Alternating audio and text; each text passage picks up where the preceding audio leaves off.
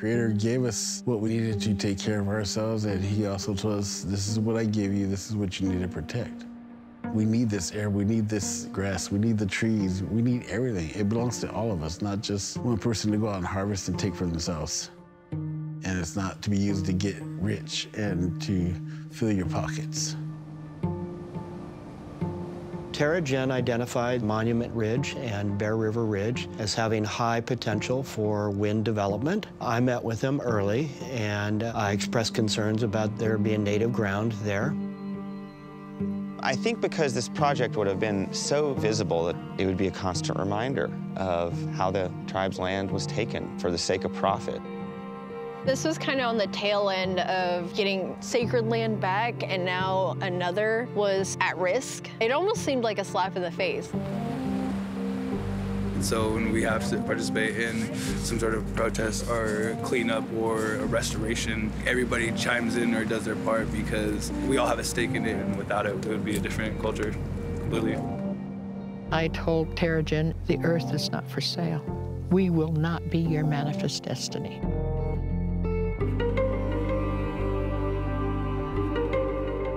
This program was made possible in part by a grant from Anne Ray Foundation, a Margaret A. Cargill philanthropy.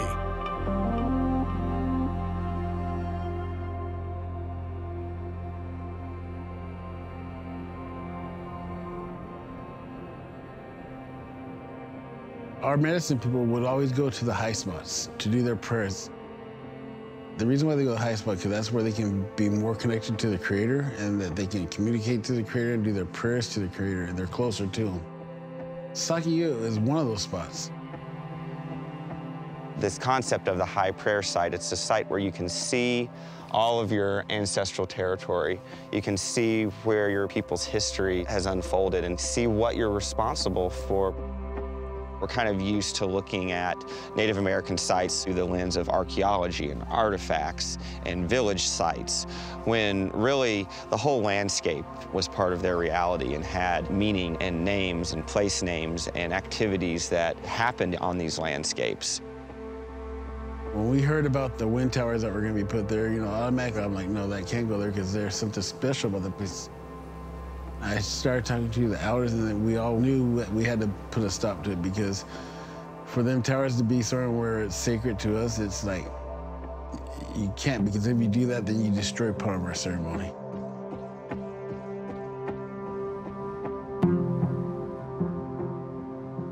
River Ridge is kind of the southern border of Wiyot territory, and it has one of the biggest coastal prairies left in Northern California. It's this big, continuous, open ridgetop prairie.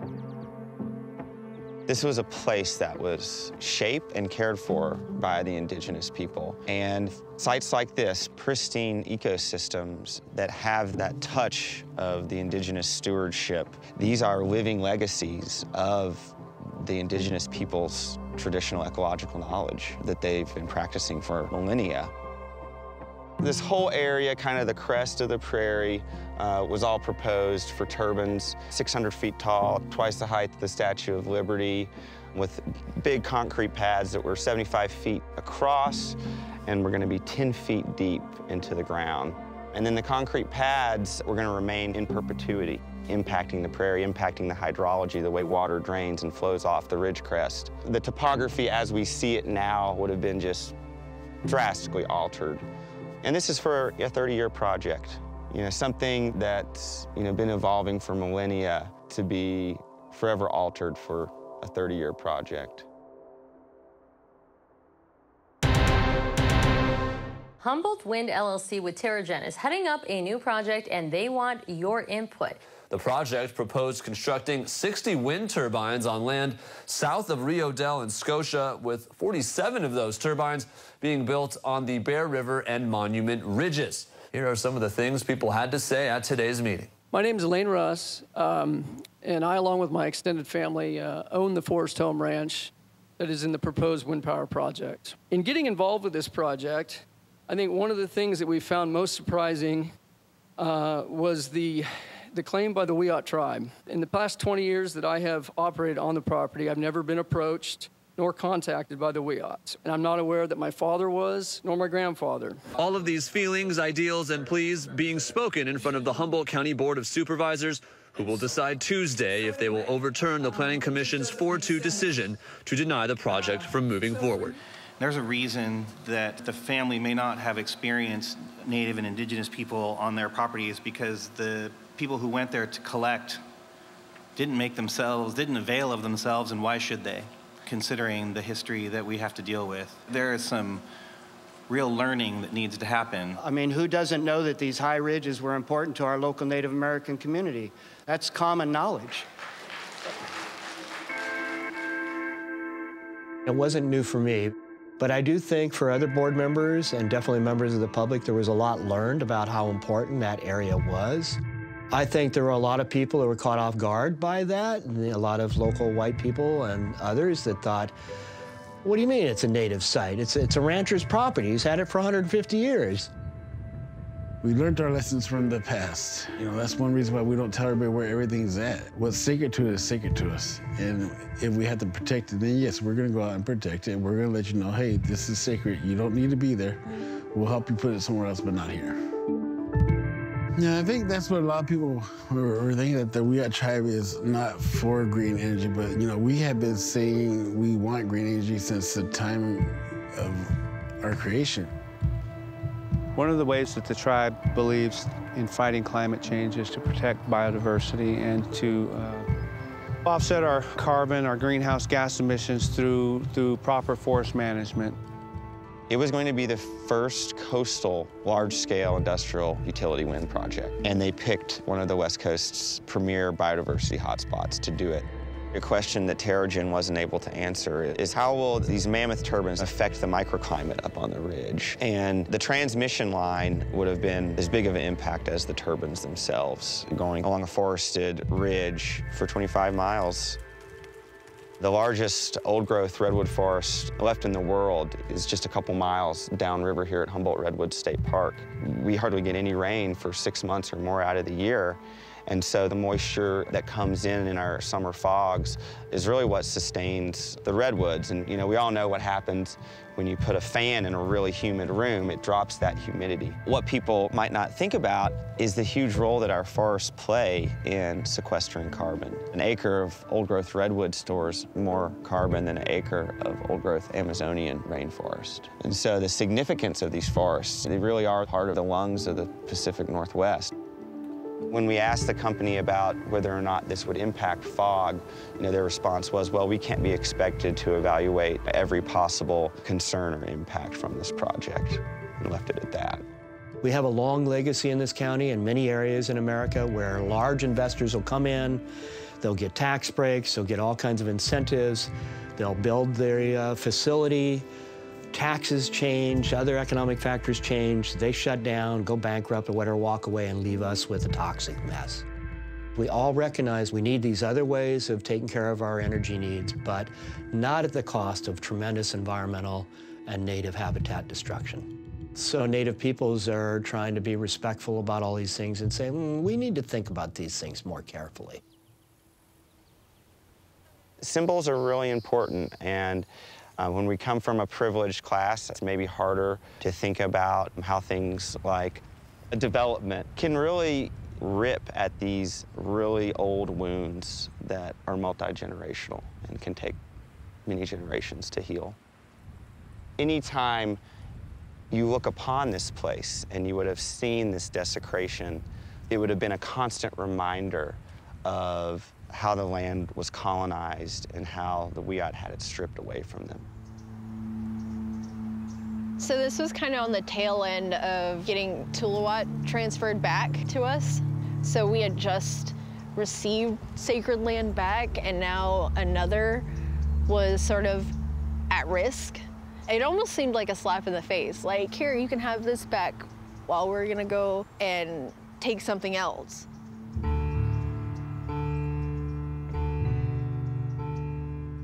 Tuluwat is where we do our prayers. It's where our songs come to us. It's where we can actually feel open to speak to the creator from that area. It's like a phone line to him, you know, and it's that's how important it is. And it's very important that people realize that since It was taken from us in the 1860s. Everything started going downhill. First time I ever heard of Indian Island and the Indian Island massacre was when I was about six years old. And mother sat me down and talked about it. Because of the Wiyot's proximity to development of the city of Eureka, you had an Indian problem. You've had an Indian problem since the time that this country was invaded, basically. So the branch of the government that dealt with Indians in the beginning was the military and got to a point where they couldn't kill all the indigenous people, and so they decided, well, we need to deal with this a, a different way. And so you had this group of self-appointed vigilantes that decided to murder 200 women, children, and elders. The people that came onto the island came with these tools they didn't use anything that could be heard by the people sleeping in Eureka. You know, they quietly crept onto the island in the middle of the night and killed people literally in their sleep. From that day forth, Wiyot people weren't legally allowed to be on the island again. We're looking at this old aerial image of Tuluwat, which is the Wiyot center of the universe. There was actually two villages on Tuluwat, Tuluwat proper, and then Epfadal. Uh, and this is where the Gunther Mansion was. And for years, uh, folks used to just call um, uh, Gunther Island. And then eventually it kind of became Indian Island. And, and now we're really trying to only call it Tuluwat. This is where the mills were. There was an old yacht club. You know, lots of industry during the late uh, 19th and early 20th century. Tuluwat proper, where the World Renewal ceremony happens, had a big metal foundry and a dry dock. The Duff Dry Dock and Boat Repair Facility it operated from about 1870 to 1990. So they had a boat maintenance and repair facility going for, um, you know, the better part of a 110 years. So there was pretty significant amount of contamination on the site, which included PCPs, pentachlorophenols, arsenic, leads, heavy metals. There were numerous dilapidated buildings on the island and tons of scrap metal. So there's been a lot of efforts to clean all that up. The efforts to return to the island started in the 1970s, but in the late 90s, Cheryl Seidner, who was at the time our travel chair, came to the council meeting one day and said, hey, there's this 1.5 acres that's for sale on the island, and I think the tribe should try to buy it. In less than 12 months, we got enough money to buy the 1.5 acres, which was the massacre site. When they got the new mayor of Eureka, I called him up and said, Would you like to give us the island back? And he said, What? and so we got to talking about that, and he brought it to his city council and to his staff who worked with the Wiyot tribal staff, and we negotiated a land transfer of 40 plus acres. This transfer is the first one of its kind in the United States of America that any city has ever given back any land that was in their coffers. And then this is, are we going to ask for the rest of the island that the city owns? The negotiation on that was considerably longer, but they finally came through. They unanimously voted to return the island back. And it was satisfying. It was very exciting. There were tears and hollering and happy cheers. Once we purchased the island, it was such a powerful thing that this idea of cleaning up an environmental disaster site seemed achievable too. and that took years until that entire project was done. This is the restoration site right here. There were a number of dilapidated buildings. There was scrap metal. There was a set of rails where they would pull the ships up to the dry dock facility. There was paint sheds, just lots of stuff up there. This sheet piling that we see, that was installed as part of the restoration. Much of that seawall was marine batteries that they had stacked up. They created a wall with marine batteries to use as a seawall. So the site was just horribly contaminated. You know, in the beginning, it was just people that came to help. We said, hey, can you help collect metal debris and wood from the island? And people showed up. Does anybody have a barge we can use? People showed up. We were trying to stop the erosion on the midden. Local business donated oysters to help us shore that up. So there was a lot of people in the community that came out to help with those efforts. What we're standing on is the midden.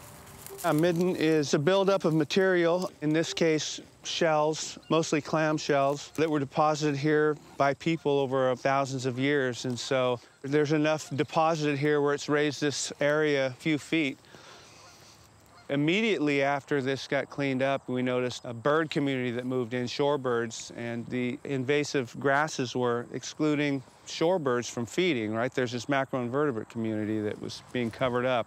I would say between the sheet piling, the grasses, and all of our other native plantings, it really helped stabilize the area. As the island started getting clean and we started seeing real results in the water, everybody in this community benefits from that. Whether it's just a regular person who goes fishing or a commercial fisherman or an oyster farmer, everybody had a benefit from cleaning up that island. And I mean, if you saw what it was like then and then you see what it's like today, it's like an amazing transformation. So while that was happening on the island, there was like a community healing that was going along side by side with it.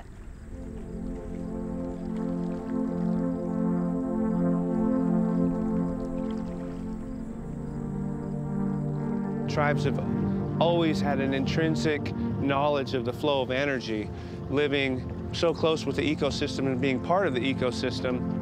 Tribes understood that the flow of energy went both ways. When we're talking about a river, you know, you, have got your massive amounts of marine-derived nutrients that anadromous fish would bring back upstream, and there's an ebb and flow that would happen. When European settlers showed up and, and started disrupting that flow, that alone upset the balance uh, that the tribes were trying to maintain, you know, in their everyday life, their food sources, their water. For a tribe like the Wiyot that was one of the first to be contacted in the Humboldt Bay region, they have really been stripped away from those opportunities to practice all those cultural activities that are tied to a landscape. When you lose that ability, that's when you can't pass your traditions on. That's when culture starts to die.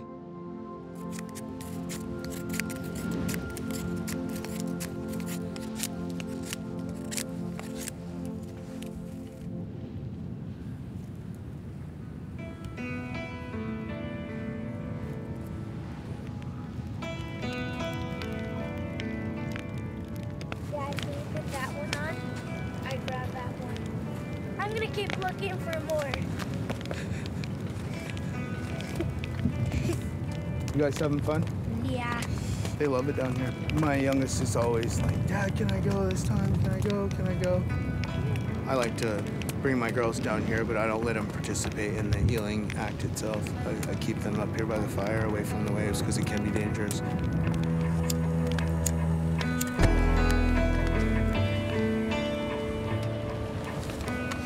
Right now, it's high tide. The water's just kind of chilling and it's gonna start to drop here. And then after it drops down is when we wanna start eeling. So we'll eel from about 12.30 or 1 o'clock on until about 5.30 or 6 in the morning when the tide starts to come back in. These guys are just trying to take the safest route they can to get up the river and when the tide's going out, the easiest way for them to get up is to use the wave energy that comes close to shore, and that affords us an opportunity to get close enough to them to snag them up with our hooks.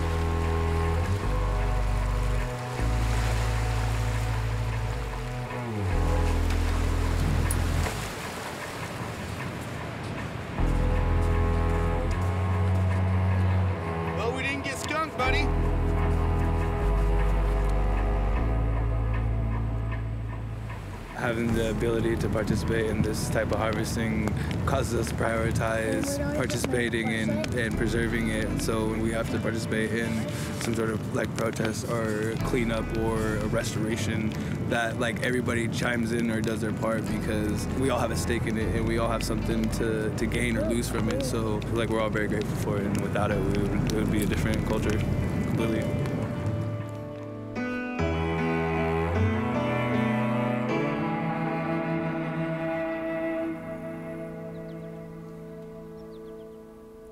With the Terra-Gen project, we didn't have any monetary resources to put into that, but we did have a long-standing relationship with the community. The idea of what would happen with the windmills was kind of like what happened with the boatyard. I mean, everybody probably thought the boatyard was a great idea at the time for economic development, but it ultimately left this environmental mess. So I think that people in this community really understood that and had gained a trust with the tribe folks who were proponents of the project, I don't know if they realized what a slap in the face it was to say, if we don't do something now in regards to utilizing some renewable source of energy, that Tuluwat is going to be underwater. You know, it's like, so if this is underwater, then we need our high spots even more than ever. There was a lot of fear and a lot of decisions and, and folks that were making arguments based on fear. It could have been a conversation, but it ended up being a fight. And that's unfortunate. But it, I think it also sends a message like, we're here to talk, but if you don't listen, you're going to hear us. Hundreds of community members gathering at the Adorni Center Monday morning at 9 to express their feelings regarding the Humboldt Wind Energy Project a project that could help alleviate the reliance on fossil fuels by providing the county with a new clean energy source, but could come at the cost of violating the environment and sacred Wiyot land. What I'm looking at on the screen is appearing behind me. This strand that's located here, if you can follow the cursor, is the location of Bear River Ridge, and this goes around up in this location. This would be Monument Ridge. If you're coming in with a project like Terra-Gen, it's going to need what's called an EIR, or an Environmental Impact Report. In this case, there were a lot of really big impacts, like leaving those large concrete chunks up on the site forever. But Terra-Gen decided that there were a bunch of things they weren't willing to do because it would reduce their return on investment. So as a board, we were being asked to approve a project with eight overriding considerations. There's this huge impact. We're building something on sacred native ground, and there's no mitigation. But it's so important to develop this energy, we're going to walk over that native ground and do this. That's an overriding consideration. But if that energy is not so green and it's really brown and there's all these problems, then how do you do that? And that was the struggle that the community went through. I personally believe this project needs to be built. Reluctantly, I say that. It's the very same imperialist and industrialist tendencies that have called us to this corner to where we now need to take action. There is not a lot of local work, and we now have the opportunity to create some. If these people need work, maybe they should find jobs fixing the land their companies destroyed. I take a little bit of offense to that maybe the Russes ought to sell their property and at some point give it back to the Wiyot tribe. I'm a dip netter, a brush dancer, a jump dancer, a white deerskin dancer. I matter. Destroying land is the root of the genocide of people in America, and that is the beginning of the climate crisis. And Terra-Gen, I want to warn you that the people of Humboldt County are notorious for fighting what's right and chaining themselves to things.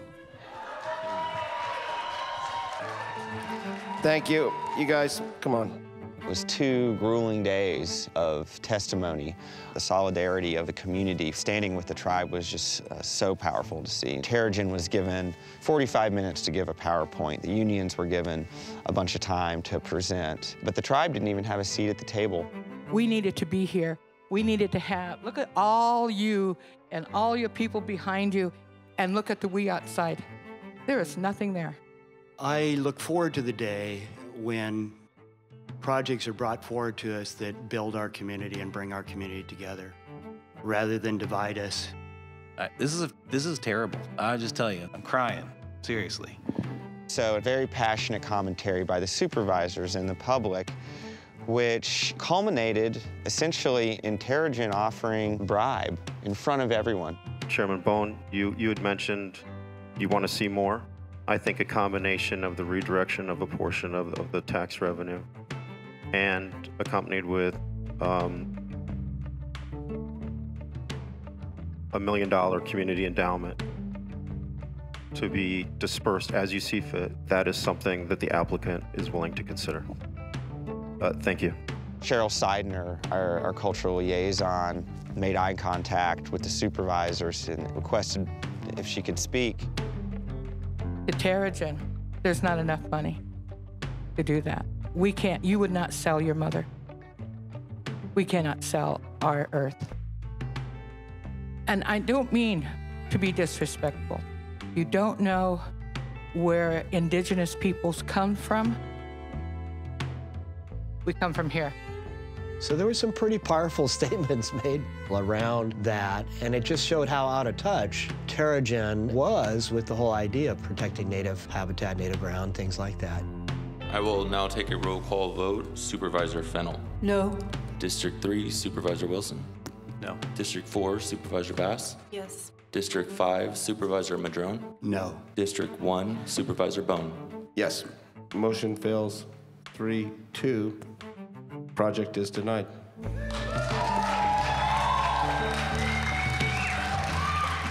half a year before the hearings, I would say the community was probably three-fourths yes voting for the project and only one-fourth no. And in the end, it was really probably three-fourths opposed and only one-fourth for.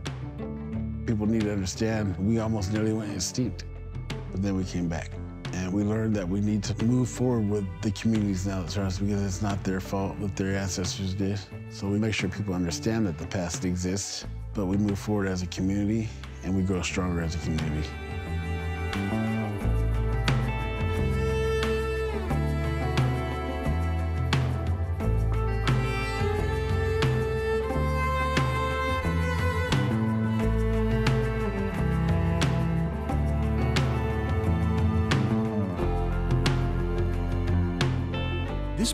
Was made possible in part by a grant from Anne Ray Foundation, a Margaret A. Cargill philanthropy,